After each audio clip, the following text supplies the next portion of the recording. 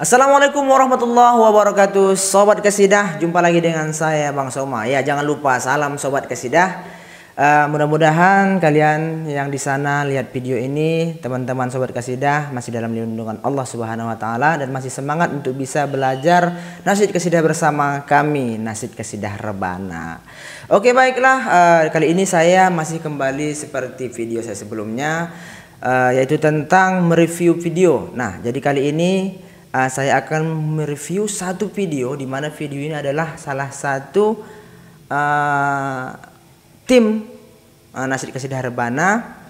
Uh, ini adalah salah satu permintaan daripada subscriber, subscriber Sobat Kesidah di luar sana. Dia uh, beliau minta review video ini, uh, lihat pandangan saya tentang video ini.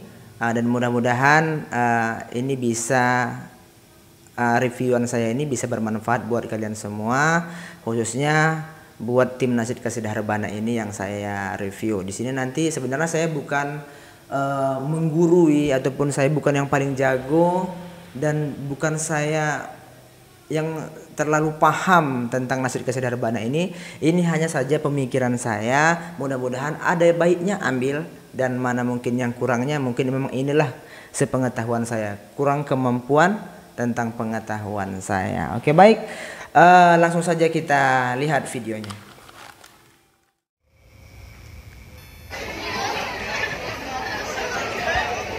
Ya.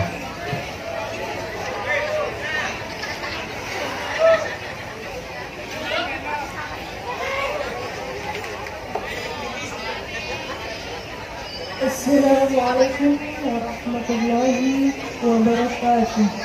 Waalaikumsalam warahmatullahi wabarakatuh.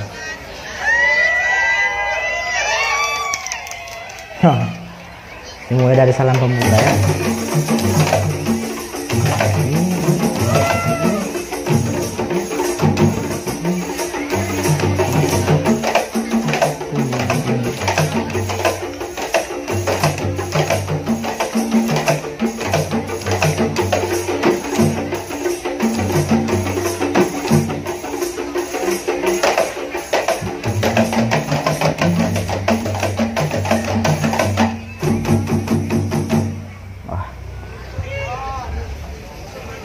Oke, okay, tadi mereka memulai dari salam pembuka, salam yang sangat luar biasa. Uh, kalau misalkan saya lihat dari vokalnya, dia begitu semangat, dia begitu energik, dia begitu percaya diri. Uh, luar biasa. Harus memang seperti itu ketika kita memang mau menampil gitu. Jadi mereka ini nampilnya malam hari. Uh, kalau misalkan saya kita dengarkan tadi bersama, uh, sepertinya yang nonton ini sangat luar biasa, ramai sekali. Tapi karena mungkin kamera nggak menghadap uh, penonton, tapi kira-kira seperti itulah. Jadi mereka ini tadi memainkan dengan memulai instrumen. Instrumennya uh, kurang lebih seperti ini. Untuk di akhirnya aja. Dem dem dem dem dem dem dem. Dem dem dem dem dem dem dem dem. Itu untuk bassnya. Untuk ketipungnya ting ting ting ting ting ting ting ting ting ting ting ting ting. Khas pukulannya. Uh, nah jadi uh, mereka ini um, kalau misalkan saya boleh lihat ini sepertinya nampilnya ini festival atau ke eh, acara-acara keagamaan saya nggak tahu. Tapi uh, melihat dari ini latarnya ada hadrah dan rebana. Ya ya sepertinya festival sih. Nanti buat sobat kasidah yang tahu ini acara, acara apa festival ataupun acara-acara keagamaan nanti kalian boleh share. Ataupun yang nonton dari uh, dari pemain ini nanti boleh silahkan komen di kolom komentar. Jadi tadi di situ uh, instrumen uh, seperti itu kurang lebih seperti itu yang sudah saya jelaskan jadi instrumen ini mm, saya nggak begitu tahu namanya nama pukulannya namanya apa karena di setiap daerah itu pastinya berbeda-beda nama pukulan itu berbeda-beda. Nah, jika kami di Sumatera ini menyebutnya Sumatera Utara khususnya ini menyebutnya dengan uh, pukulan Jawa. Uh, nah, jadi buat sobat kasidah yang yang yang ingin tahu dengan pukulan Jawa nanti boleh silahkan cek di video saya. Sebelumnya ada saya buat tutorial tentang pukulan Jawa. Nah, kalau misalkan kami di Sumatera memang seperti itulah. Saya saya ya, Sumatera Utara khususnya menyebutnya ini pukulan Jawa. Jadi buat sobat kasih nanti ataupun pelatihnya yang tahu dengan pukulan ini nanti boleh uh, kita belajar bareng uh, tentang pukulan-pukulan yang namanya uh, saya di luar Sumatera Utara itu saya belum mengerti. Oke langsung saja kita buka langsung di videonya.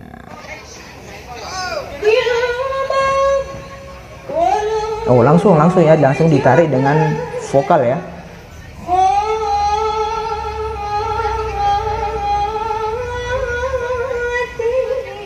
Oh jadi ini untuk lagunya lagu Salam Ba'id.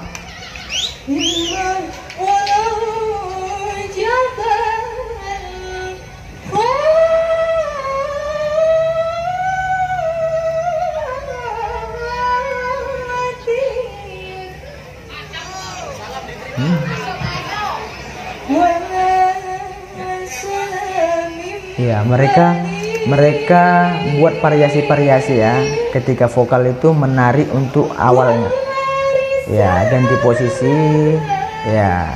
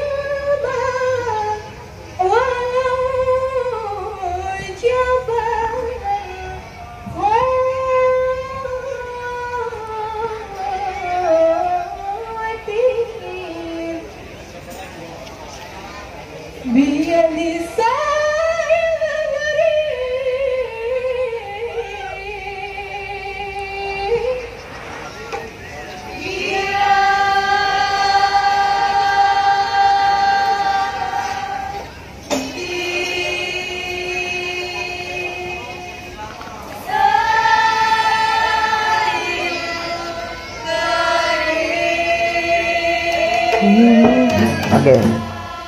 Sekarang sekarang kita uh, lihat kita kita cerna kembali bahwasanya mereka tadi memulai dari langsung saja vokal. Nah, seperti itu.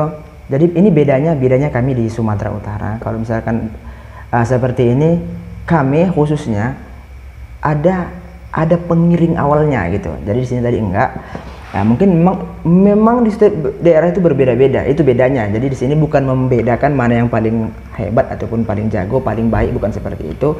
Ini kan kita hanya sharing agar di seluruh Nusantara kita bisa menerima perbedaan. Nah, kalau misalkan kami di Sumatera Utara itu pakai ada namanya pengiring. Contoh kor. Da da da da da da da da da da pengiring kornya baru ditarik dengan uh, vokalnya.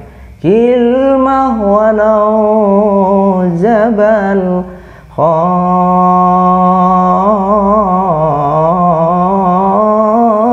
khatir nah seperti itu. Jadi kalau misalkan seperti ini tadi nggak ada pengiringnya ini bisa bisa membuat kita ketinggian. Uh, bisa ketinggian bisa entah ke mana larinya gitu. Itu itu menurut saya pribadi. Tapi uh, kalau misalkan kita seperti vokal ini mereka percaya diri mereka bisa uh, sesuai dengan latihannya ya uh, syukur alhamdulillah. Tapi kalau sebenarnya bahaya sih bahaya seperti ini. Tapi namanya kita mencari solusi mana yang baik ya. Jadi di sini saya tekankan kembali bahwasanya di sini saya bukan bukan menggurui dan bukan yang paling tahu sok jago di nasid kesedarbana ini masih banyak senior senior saya yang sangat luar biasa. Ya di sini tadi mereka membawakan uh, salamin banget, salamin banget kilmah walau jabal khatir.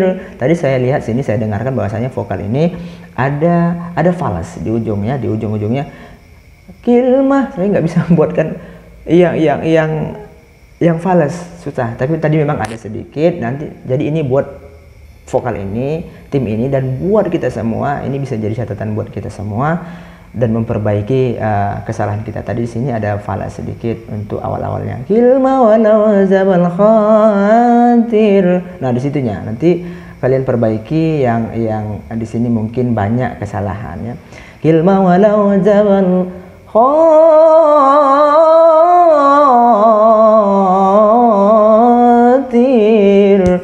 ولسنا من بعيد ورسالة يا هذير Mi- wala risalah yazir eh jadi untuk makomnya ini makom bayati ya ini kental untuk bayati di awalnya oke langsung saja kita lihat kembali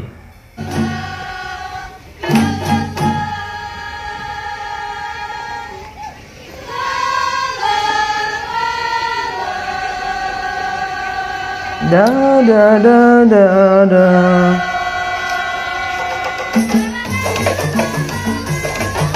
Ya. Ya kan? Sepertinya mereka agak sedikit ketinggiannya tapi masih dalam posisi yang baik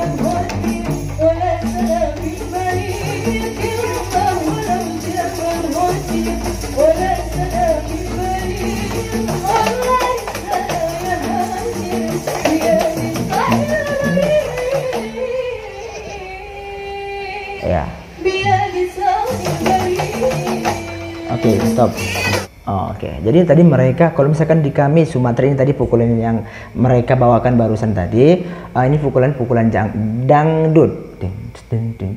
Kilmah walau ding ding ding ding ting ding ding ding ding. Mereka sudah bisa ah, berkembang seperti itu luar biasa. Pukulannya pukulan dangdut kalau misalkan kami di Sumatera. Ding kilmah walau ding ding ding ding ding ding ding ding ding ding ding ding ding ding ding. Nah, jadi buat uh, ini untuk kornya juga tadi di awal hati-hati ada sedikit falas. Nah, tapi uh, nggak begitu parah, tapi ini jadi catatan buat uh, tim ini.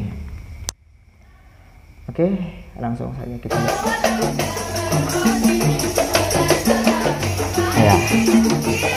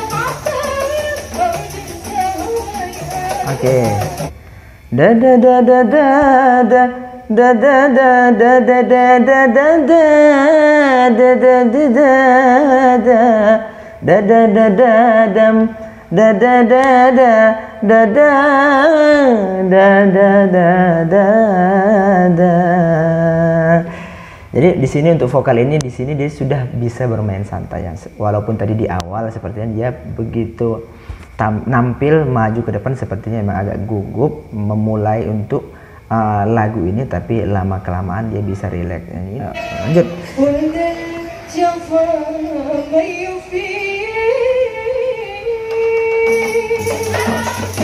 Oh waktu kolaborasi ya. Nah, ganti-gantian untuk menyambutnya antara hmm, pemain dengan vokalnya. Oh ada up-up di sini. Ya, mereka sambil variasi ya, bertukar posisi. Ya, ini ini menghidupkan suasana sebenarnya. Ya risa'il bari. Stop.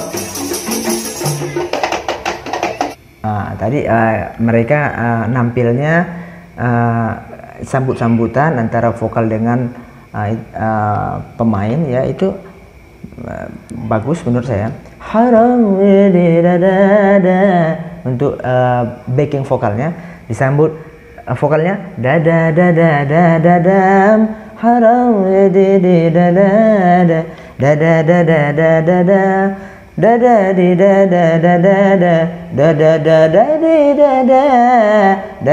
da da da da ya mereka variasi pukulan lagi. Dem dem dem dem dem dem dem dem dem mantap. Ya.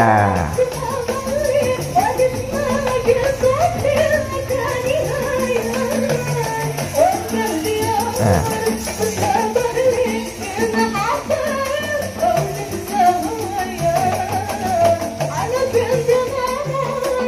Ya bagus variasinya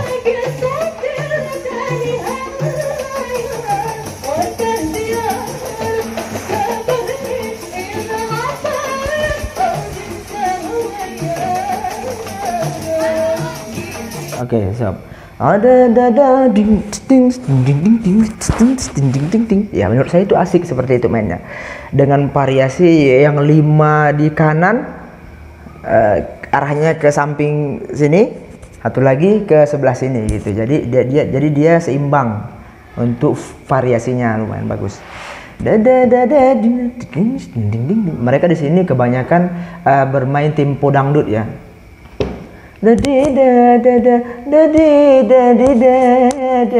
Oke.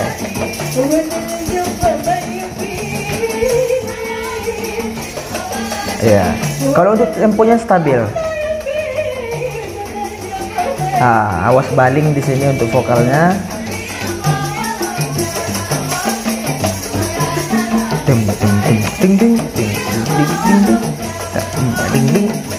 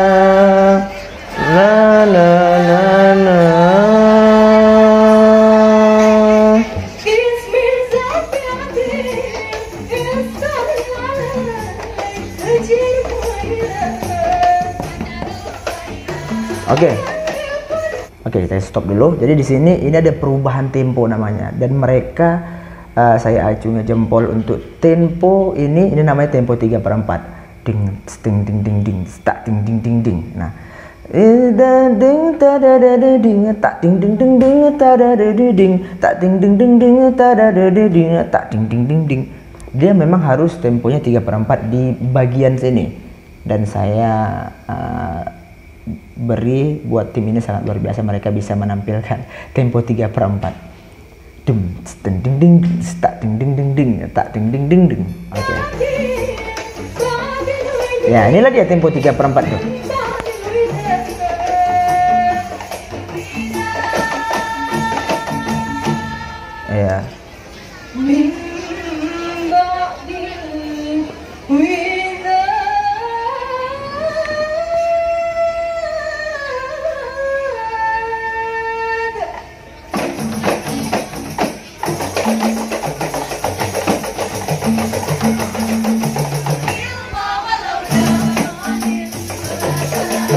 cepat ya temponya cepat.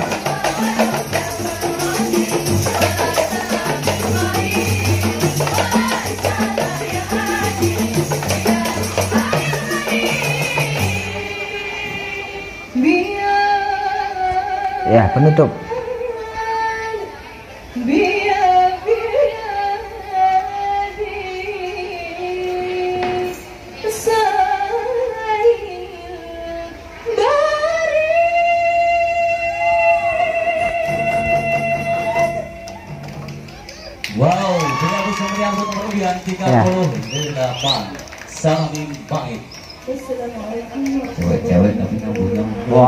Waalaikumsalam warahmatullahi wabarakatuh. Oke, stop sekarang.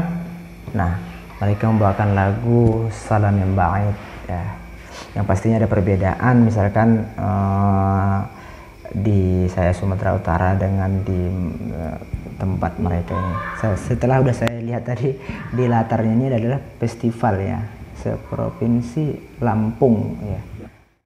Nah, eh, di sini saya akan eh, mengupas tentang kelebihan dan kekurangannya. Kalau untuk kelebihannya temponya stabil buat pemainnya ya luar biasa, temponya khas, pukulannya khas. Hanya saja saya nggak tahu tadi eh, untuk nama pukulannya. Jadi buat yang tahu nanti silahkan tulis di kolom komentar. Eh, di sini juga buat kelemahannya em, ada untuk vokalisnya eh, masih banyak uh, falesnya ini menurut saya bukan saya yang menggurui saya yang paling tahu saya yang paling jago di te- tentang nasib kesederhana ini tapi saya sepengetahuan saya uh, ada sedikit yang di sini uh, harus diperbaiki untuk vokalisnya. Ada yang fales ada yang sumbang ada yang terlalu ketinggian. Mungkin di mungkin vokal ini mau buat improvisasi tapi mungkin uh, uh, arahnya aja yang ujung-ujungnya aja yang sedikit uh, yang agak sedikit uh, miring gitu. Nah, ini nanti buat pembelajaran buat kita semua, bukan hanya tim ini, buat kita seluruh Nusantara ini khususnya Indonesia ini bisa uh, mana kekurangan kita yang kurang baik itu biar bisa kita perbaiki lebih baik lagi. Jadi mungkin nah ini dulu review saya mudah-mudahan ini bermanfaat buat sobat kasidah semua dari Sabang sampai Merauke di mana pun kalian berada yang pecinta laski nasib kesederhana biar bisa uh, sebagai acuan kalian uh, untuk bisa mengembangkan nasib kesederhana ini. Jadi mungkin ini dulu perjumpaan kita di video ini. Uh, di video selanjutnya saya akan memberikan tutorial eh bukan maaf uh, preview kembali tentang nasib kesederhana dan jangan lupa uh, untuk mendukung channel ini sehingga bisa berkembang lagi. Mungkin sampai sini dulu. Bila taufik. Assalamualaikum warahmatullahi wabarakatuh. Salam sobat kasidah.